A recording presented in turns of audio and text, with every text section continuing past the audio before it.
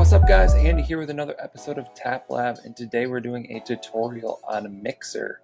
Mixer is a live streaming platform and a lot of people are going to be moving over to Mixer or trying Mixer so I'm going to give you a quick overview of how to use it, what you can do and what you can't do. So up here on the top we have a few sections. We got who you're following, top streams, games, teams, and more. This is just like all the all the links. You can also scroll down to see um, some of the featured stuff and all of that. But let's just go to games. We'll go to Fortnite. You'll see this is very similar to the Twitch live streaming platform. Then we're just going to click on someone. Let's click on this dude. And here we'll be taken to a stream. Let's uh, let me make myself smaller here. Okay, so this is what you see right off the bat. It's kind of cluttered. By the way, I'm going to show on desktop and then I'll do mobile in a second. So you can see it's kind of cluttered right off the bat, but what we can do is this MixPlay thing. You want to close that. Um, this is just a toggle and this has a bunch of stuff on here. I honestly don't know what this is. Everyone's is a little different, but let's just close that to make it a little cleaner. We've got the stream title, the game, all of that, the view count, we've got skills.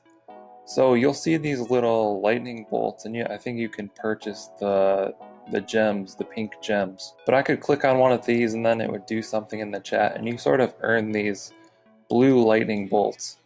And you'll see up here in the top right corner is your profile. So if we expand this, we can see as I watch streams, I earn these blue lightning bolts. So in in 50 seconds, I'll get more more of them.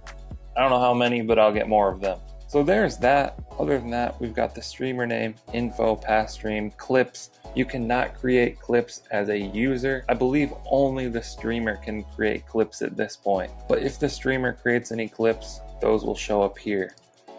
But every streamer has their info, you know, their social networks, all the all the links and everything they want you to be able to click on down there. And we have follow buttons, sub button, share. That's pretty much it. And then over on the right side, we have the chat. So this is kind of cluttered right now. It'll be interesting to see when a huge streamer comes on here. But there's this like invisible, invisible thing right here where you can drag the chat. So, you know, I can make this chat bigger or I can just collapse the chat.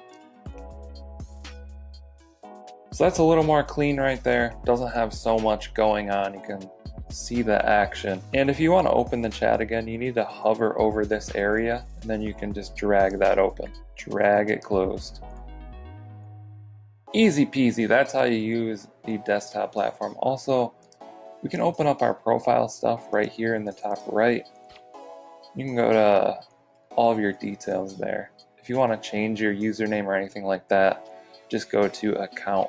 And I believe you can change your username every 30 days. So there's the desktop version. Now let's hop over to mobile real quick. Okay, so here we are on the mobile platform. Same stuff, we have the trending tab, which is like all of the featured page. We have the following tab. We have our profile, and that's about it. So let's hop into a stream. We'll go to the Fortnite game, scroll down and find someone here. This looks like a fine one. So we've got the game on top, the chat down here on the bottom. You can type in the chat if you want. I also found that it's hard to close the chat, you know, you can't swipe on it or anything. You basically need to tap on the video and that will close the chat. You can type in the chat just like the other version. In the bottom right, we have a crown for a leaderboard. Close that. In the bottom bottom right, we have a flying meteor thing. And that's what allows us to uh, do the sparks and the, the gems and that type of stuff. So we have stickers, effects, so the effects is like animation that plays over the entire chat. So that I saw one of those yesterday and that's pretty interesting. We can also tap on the video area and it's going to open up more options. It'll show the streamer name, the game name, the viewer count. We can also like the stream here. We can tap in the top right corner and get some more options and we can also go full screen in the bottom right corner of the video. Okay, so I can't go full screen while I'm recording or else it'll end the recording. But if you want to go full screen, it's the four squares in the bottom right corner of the video section. And that's pretty much it. You can also swipe down to collapse this, swipe up to make it big again. I think you can also hit the arrow in the top left to do the same thing. Then you can just swipe this way off the left side of the screen. But that's pretty much it for the Mixer mobile app. It's a pretty clean app. They definitely have the tech. I'm excited to see some popular streamers test it out see what it's all about. They just need incentives for popular streamers to move over. They need to they need that cool factor. And we'll see soon if Ninja is able to bring that. I'm excited for it. Hopefully you guys found this video helpful. Be sure to drop a comment down below if you have any questions. I'll try and answer those. Don't forget to subscribe to the channel, turn on post notifications, drop a like on this video, all that good stuff. Thank you guys for watching. I'll catch you in the next one. Okay. Don't blame your problems on the past. Go hard Go hard, go hard. You might win. Don't blame your problems on the past. Cause that'll make you come in last, so go hard.